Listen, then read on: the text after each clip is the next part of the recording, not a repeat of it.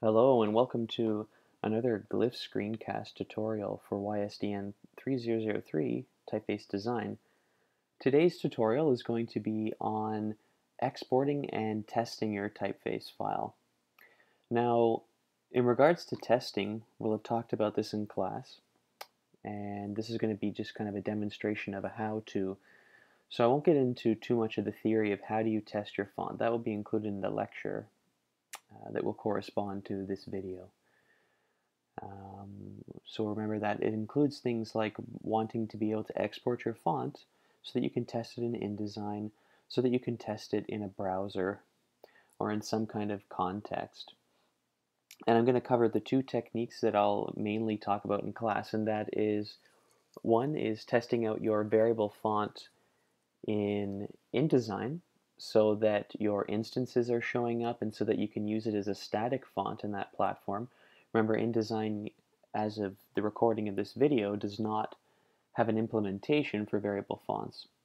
So that means you can't actually use the axes as dynamic ranges. But that's okay. You can still use your variable font that you've designed as static instances and it'll work just like you use any other typeface in there.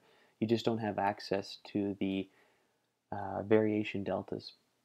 But that's fine. And then the second thing that we're going to look at today is exporting your typeface as a variable font and then testing it out in an HTML document that I'll provide you, or I have provided you in class, which allows you to test the axis behavior of your typeface. So it's simple CSS HTML code implemented in an, in an animation, a CSS animation.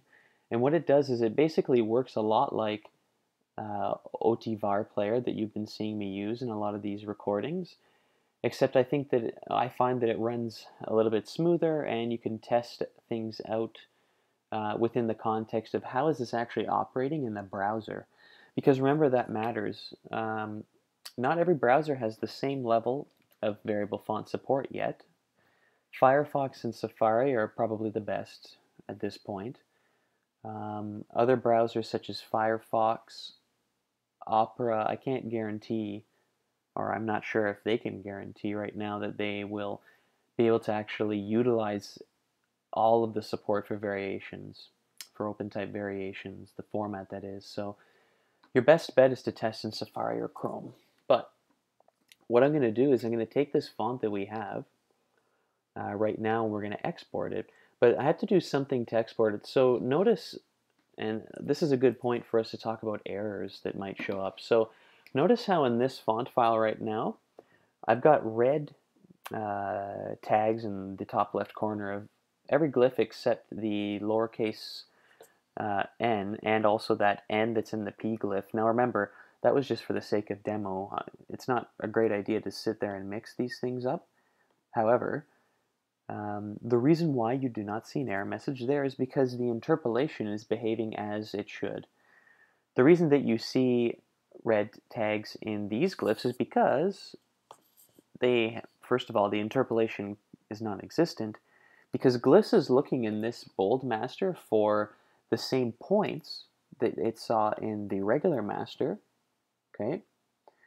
However, it doesn't see them in the bold master or the ultra bold for the sake of our typeface right now.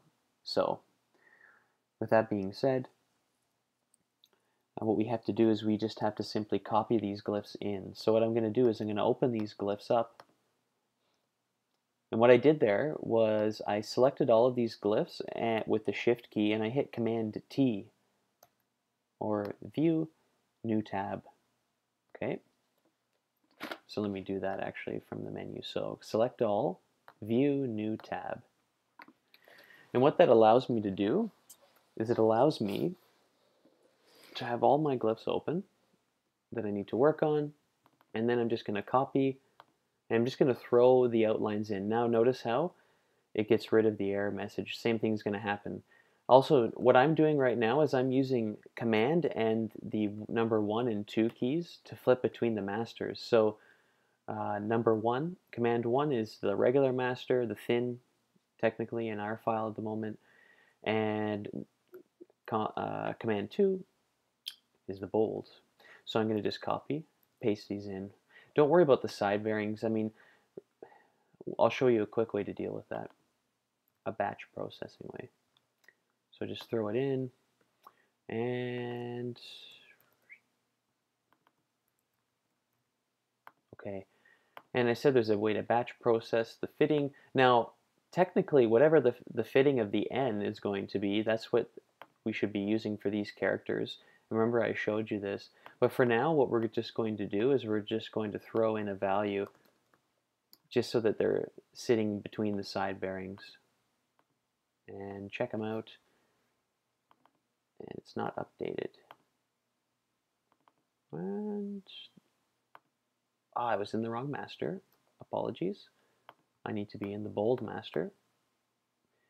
And let's just give them, it doesn't matter really, as long as that they're not negative, because we don't want them crashing into each other. That's fine. So you notice here, these masters are the same. With the N, we have a bold though. That's what we can actually test. Once again, we're just testing this font. Now, I'm going to go into font info. There are some important things when you export your font. This is when we're going to actually care about the naming of the font. Now, I've called this font Serif Test. Oh, we can call it anything we want. Let's just call it Serif Serif. Oh, Serif, Serif and Sans. And really, you can only enter characters in the spacebar. I don't think you can put an emoji. Let's try it out. I'll see. It. I've never tried it actually. And then you could say your name is um, anybody. It doesn't really matter what you put in here. You can put your URL. And of course, we know that these things are operating where we want this to be the default master. That's up to us. And we'll just keep it that way. Now under masters, we don't really need to worry about anything at this point, but under instances, we've got all of our instances set up. And that's good because we want to see that when I go into InDesign, I need to have the instances set up so that when I open the font in InDesign, it still behaves like a static font. That still matters. I think it matters because we're going to see a lot of people for the next probably 5 to 10, even longer years still use static instances because it's hard to expect all users of type who are not just communication designers or experiential designers, web designers, uh, interface to developers. These are not the only people who use fonts. Type, since the early 80s and into the mid 80s, has become widely de uh, democratized. And what that means is that many people are using fonts. A lot of people don't have control really over the fonts they use. When we use a typeface on our cell phone, we don't have too much control. I mean, most of our phones that are running on Android or iOS, you can go into the accessibility settings and you can say, I want the text to look bolder, I want the text to look bigger, I want the letter spacing to be opened up in, under that function, but I don't really get to choose things, and definitely not the detail of variable fonts. So anyway. I'm going on too much. However, we just need to have this. And what's very important is that the naming works. So in accordance with what the font menu will expect. So the font menu will show a name like this, but it actually cares about this number. So that is the font menu in InDesign, and I should actually launch InDesign while I'm doing this. So the font menu in InDesign or any program looks for this number identifier and it also looks for the width value too. So if I went to expand it, it would be 8. And notice how the way variable font axes actually are working on the same kind of number value or numerical system that these are where you're going from number 1 to number 10, 10 to number 9. So a number between 1 and 10 and you're going between 100 and 900. That's sort of the general uh, weight value range. So we can actually see evidence of that in these uh, in this table, which would be the font naming table.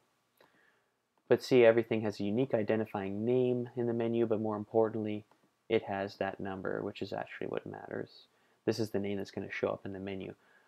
And we'll look at some ways to manipulate stuff. Okay, so InDesign is opened up. Cool. Okay, now when you're exporting your font, you have a couple different options. We're going to do an InDesign export first. And that the way that we do that is we go File, we go Export, or you can go Command E. And you see a dialog box drop down. Now, if I want to export an open type font, just a plain static open type font, what I do is I'll select OTF. These other tabs that you see up here, web font, so that would be for exporting a web font. And in class I will explain the difference between what an EOT WOFF2 and a WOFF are, and why is, why is a true type version than an open type CFF, they are different. And I'll explain what auto hinting is another time. UFO is actually a universal font object. And what it is, is it's a file that strips out all the special things that Glyphs is doing, and it's basically a working file that is just the raw data. You would still see it if you opened it in Glyphs the same way, it just wouldn't have maybe like the bracket layers, it wouldn't keep that stuff. See uh, decompose smart stuff. Metrics are things like the kerning values and the fitting data. Variable font, that is what we will be exporting when we export a variable font, but not right now. Okay, open type font. So what's really important for what we're doing here is that we're going to export our font so that it will open in the application support for Adobe Apps in the fonts folder, which means that any Adobe app that you're running will actually recognize this new font that you're putting in there and when I come back into Glyphs, make a small change or a large change, doesn't matter, and I save it and export it again, it will update more or less in real time. So I'm going to give you a sense of that. So what you need to do is when you see this, you're not going to see this path yet. You're going to go and click on this and it's going to bring down a dialog. And what you need to do is you need to go to your Mac HD. You need to go to your library and the wheel spinning. Okay, application support, Adobe, and you need to go to fonts. You could throw it in fonts required or fonts recommended, but that's not the most ideal location.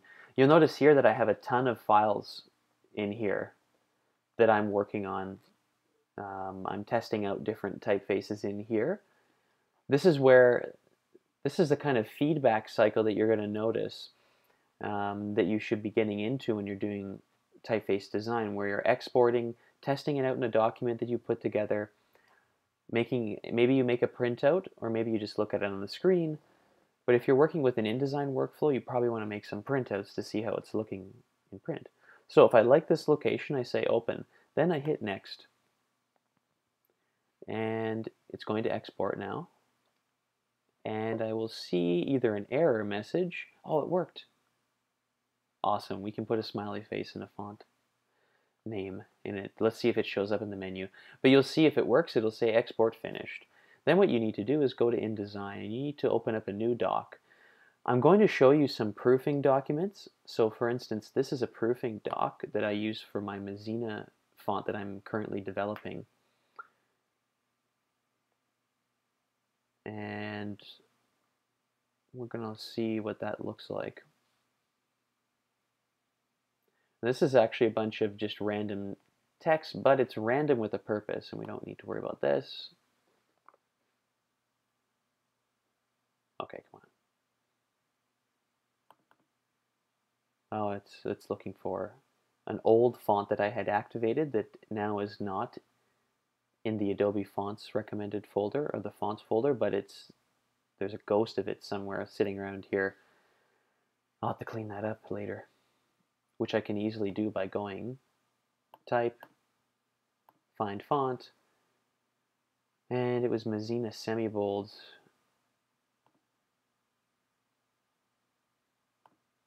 Where is it? Oh, it's there. Okay, that's the wrong one.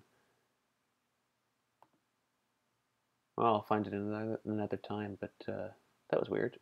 Okay, so now I'm, I'm developing this Mazzina font as a variable font, so I'm testing the axes here, and notice how that's medium, regular, light, extra light, super bold, black. Okay, but these are the test docs, and I give my test docs a date and a time for printing, and I give them just a quick description of what they're for. So in this one, I'm actually comparing my font to source serif on purpose because I want it to work in browsers pretty comfortably. And I'm also comparing it to Quadraat in terms of proportions. I'm not copying the designs of these fonts. I'm looking at, this is a good book face, book typeface in text, and I'm looking at what is making it work well and can I get it into the same ballpark? That's what I'm doing in this case of being a font designer. I'm trying to get it to be a good text font and I can learn the same things that these type designers learn by looking at their typefaces and others. So notice how I'm making a lot of tests. This typeface was originally as Canadian syllabics. And I'm just testing it in different typographic situations. So there's a page, this is a page layout, trying to make it look like a realistic page. These ones are on purpose, not trying to look like a particular page layout, but comparing the whole system here. All right. So that's what you want to develop is a series of documents you can do that with. But let's make a new one quickly. I say quickly, but my computer takes forever to load InDesign anything. So I thank you for your patience. Okay, so let's just make a new file.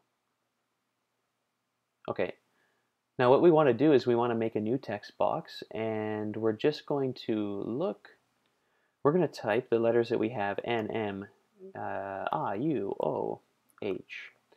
And remember that we actually had a glyph in P. We're going to look at that. We'll keep it separated. And I'm going to make this bigger.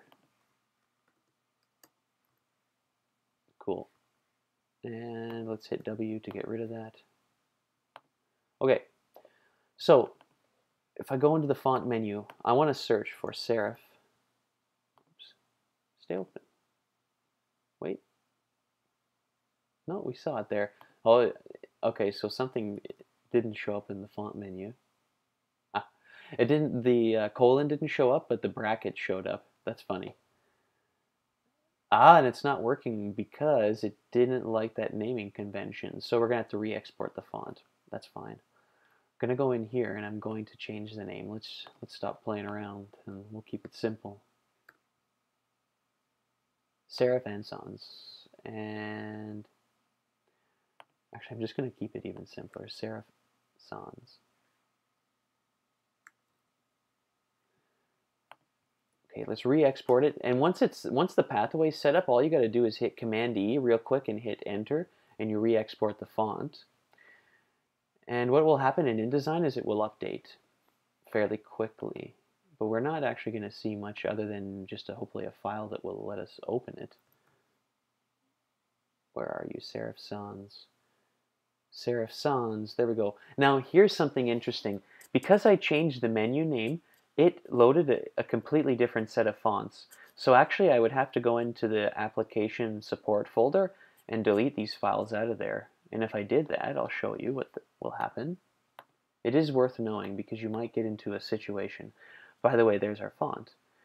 But let's go, let's get a new folder window and uh, we're going to go into the Mac HD. We're going to go to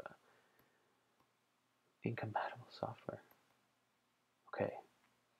We're going to go into that fonts folder and let's find those files. It'll be under S.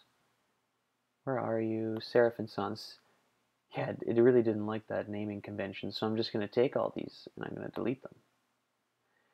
And it will update so that's sort of like a manual way to do it. And it, the menu might not update immediately. It seems like it did update pretty quickly. But let's actually go here and let's go down to the S. Yeah, it got rid of them. Perfect. Okay, so let's just select the regular. So we know that, uh, and because the values that I had in the masters are corresponding to this guy here, this this uh, letter N, let's make this smaller.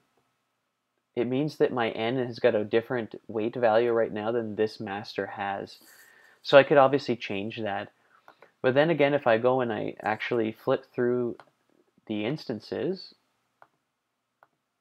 and you can actually see that N over there changing the most dynamically the N is also shifting as well. But I'm going through my weights and I've got my weights and I've got my ultra bold. And what you'll notice is that in the instances, that flip kind of thing will be happening. And what was it around regular that it actually flipped to have a cut on the inside? It was after medium, it looks like. The bracket layer, oh, the bracket layer actually kicks in for bold on our static instances. But essentially, there we go. We've got something to work with. Now, but you might be saying, well, okay, so I'm looking at my font in here, and what else can I do? What you can do is you can use this as a testing ground. So I could say, let's do something. Let's say um, I don't like the uh, I don't like the size of the dot on the I. I'm just going to do this as an exaggeration to show you. But I don't like the size of the dot on that I. So what I'm going to do is I'm going to make it tiny. And I'm going to export the font. And when I go into InDesign, it might take a second to update, and it will only occur in the thin area. We have to select everything. There we go. So let's stay on this master. I mean, another thing, let's say, I don't know, for some reason I don't like this. Oh, but that's going to break compatibility. And this is perfect because if you do not have compatibility, this is what you see. Do not have, it has no outlines or it's not compatible. Okay, we can't do that. But let's say I wanted to really make something crazy with the same, with compatibility. And I'm flipping back over to, there, it changed before I even got over to InDesign.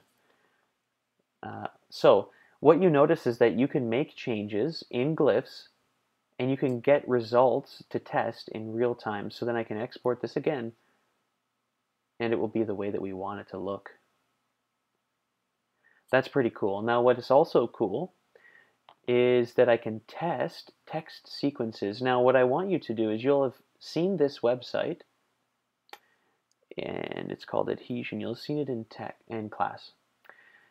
Adhesiontext.com is a testing uh, a test a text string tester where I can actually get um, sample text for the exact characters that I have. So it means that I don't have to have every letter in the alphabet drawn. Um, this is taking really long to load. Well, I don't have to have everything in the alphabet drawn. I can just text, test the characters that I have. So I can create actually paragraphs of text, which is very important to testing things out in. Wow, this is really taking a long time. And I can copy and paste it into InDesign. Okay. This is crazy.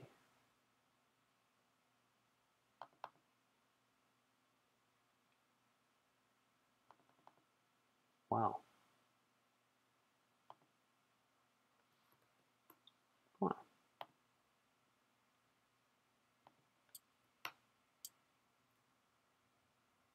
All right, so this is not great. You're going to, I think that we'll fast forward past this part. What is my internet not working?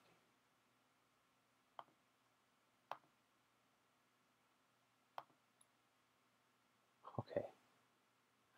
All right, well, while this is loading, maybe I can explain something else. Now, what I would do is like what you saw in this document where I would flow in text. Now in this document, I only have these characters available. I've got a capital R and I've got an H in there. I've got an E, N, I, P, O, H, L, M, O, A. So I've only got these characters available, so I can only make text strings with them. And what I'm doing here is I'm saying this is Mazzina Roman 9 points over 14. So that's just, well, what you see in the menu there, 9 over 14. This one is 24 over 28. 24 points over 24, 28 leading. Okay, this is crazy. I never thought I'd say it, but Safari is going to be better, maybe, for this.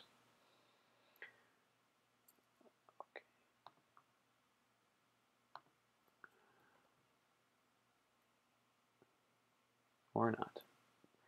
I'm just having one of those internet days. And there's today's wiki. Okay. So I only have, so this is what you see when you come to adhesion text. And what I need to do is enter N, M, I, O, H, and I also, what do I have, a U. I'm not going to do the P because obviously that's not working in the same kind of thread. So then I select get dummy text. And what it does is it generates a bunch of dummy text with those characters. If I had an A, I could add it there. And then I get something with A, but I could also then take it away and get another generation. And it will keep generating random sequences. So what I do is I copy paste, go back to InDesign, go back to here, I'm going to paste this in and I'm going to make the type a lot smaller. Now we don't have something, we don't have a spacebar character set up properly. Our spacebar character by default is 600 units, but that's way too wide. It should be, on average, something like 220 units. And now I'm going to do the same thing in the bold master so that it interpolates well. And then I'm going to export the font and I'm going to go back and it should fix the space character. Yes. And now the N is standing out weird because it's doing that. Oh no, actually it's fine because it's in the thin master right now. Now the fitting is really open for this font right now, so it's looking pretty pretty wide. But this is the kind of idea. You get these text sequences and you can also do stuff like you can split up the paragraph if you want to. You can do a paragraph with an indent. You can actually start using the type in context as type. That's very critical, I think. When we're designing a typeface, we need to know how it works. We need to say, what does the font look like when it's under leading conditions like this, wider and open? Or what does it look like if it's set very tight? you get to control the space that you design within, the design space that you're working in, as opposed to the variable font design space, but I'm not going to confuse you with that. Okay, let's go back here, and now let's export a variable font. So with a variable font, I'm going to keep using Safari for now, but you can open up these websites in Chrome. Okay, Axis Praxis. Now, Axis Praxis is a site that allows you to actually drag and drop your font in and test its variable functionality like this. So notice how I can go, this is weird, Zeitung should work. Ah, there it is. So if I've got Zeitung, which is an Underware typeface, I can actually drag, oh, what's going on? I can drag the sliders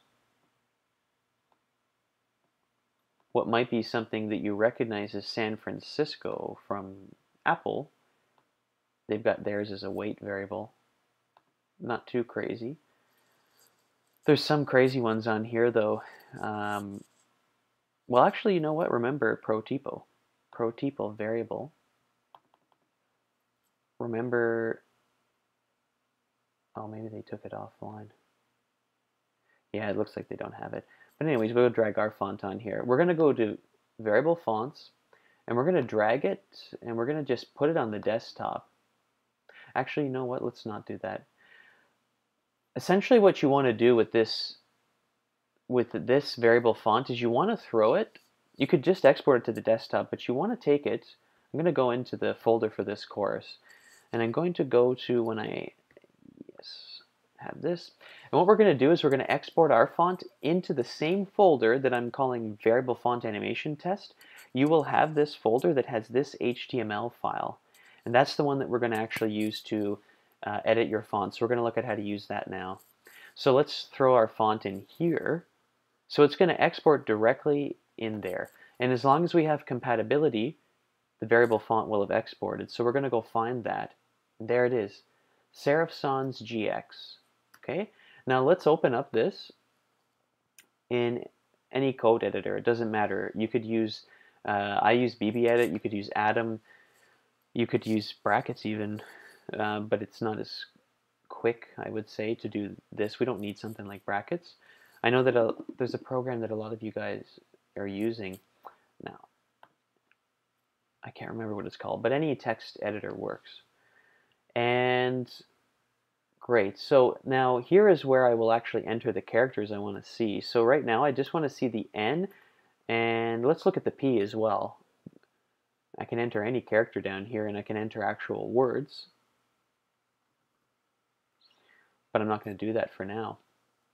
And it's a really simple HTML doc. You'll see what it looks like. And right now, we need to look at a couple key things. So I need to say what the font name is. So, whoops. Sorry. That. Nope. Where did that go? Okay. I need to change, I can keep the font name whatever it is. This was just for that Penny Sans font that you saw, but I could just say test, uh, variable font test. And then I can take this down and say the same thing. Because this is, so this is where the body is reading the kind of CSS instructions here. But what is important is that the source URL is this file name. It has to be this exact file extension. So I do that. Now that's going to be active. However, it's not going to work because our variable font does not have a width parameter. This is the width tag. We have a weight parameter. So W, WGHT. And our font doesn't go from 0 to 1,000. It goes from 100 to 900, I believe. 200 to 900. So that's what I'm going to enter in here. And basically what this is, is this is a CSS animation.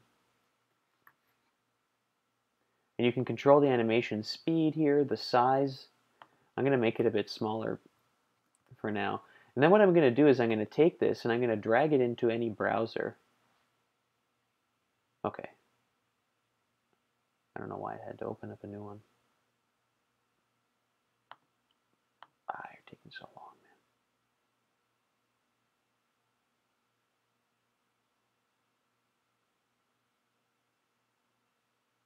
I apologize for my computer's tardiness today. Uh, okay, let me just throw this into Safari because apparently Safari is having a better day than Chrome on my computer. Okay, and it's playing. Awesome, let's make that bit bigger. Now what you can do is you can edit this animation in real time. All you have to do is make a change to your code, save the file, and then refresh your browser window. And you can test things in here. And it's playing, you can see that flip there. You can see it's playing a continuum of the axis, and there's some weird stuff we see here, but for the most part, what we're doing now is we're testing the font in context, which is really important. So right now I'm having a look at how things are behaving. We can see how this is doing its flip thing.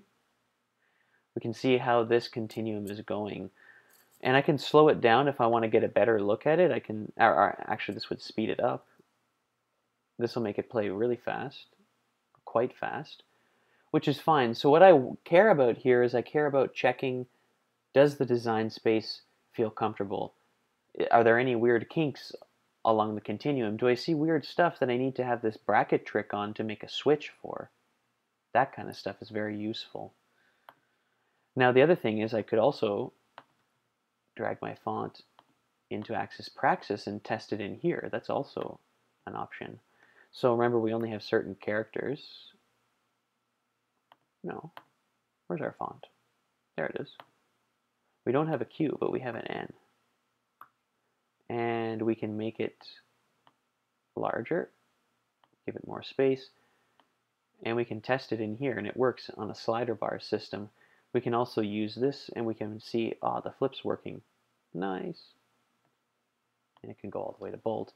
So this is another great way for you to test it in the browser. I think that the animation is a really great way as well. Another thing you can do is grab the dummy text and you can throw it into this, but what you would have to do is suspend the animation so that it does not run. Oh, I don't want to turn off that. Comment that out for now.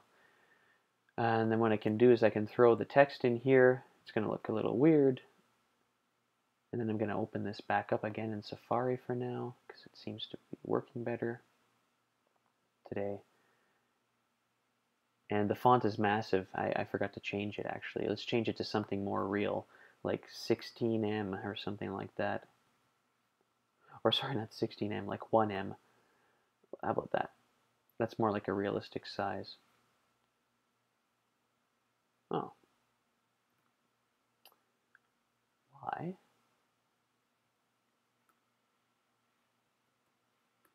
Probably this is why. Well, that is... Ah, okay, I know why this is not working, because we don't have the glyphs drawn. But if you did throw this in here, uh, this font in here, for instance, do I have a full font? I'm going to show you one of my fonts. I'm going to show you Mazzina and show you how this works, and then I'm going to wrap this video up. But I want you to know that it works. Okay, so fonts, proofs. Mazzina browser proofs. Is this the one that... This is not the one. This is the one. Uh, there we go. So really I can test it out in here. I can control the line height and everything. So if I open up this file, oh, it's, my apologies. I thought it would open in BBEdit. There we go. And now I've got my Mazzina font in here. It's at 2.6 M, so I could go down and make it more of a realistic size for a browser. And then I can, oh, I, yes, I'll go back here, refresh. That's actually not a great point size for a browser. I think this is better. Okay, and then you can test it in here. The reason why it might look a little fuzzy to you is because I am on a non-retina screen. Okay, that's a lot. That's a big video, so feel free to fast forward throughout this. It's It got a lot longer than I expected. However, it tells you everything that you need to know in terms of testing your font, in terms of platforms for that. Please ask me any questions if you have any.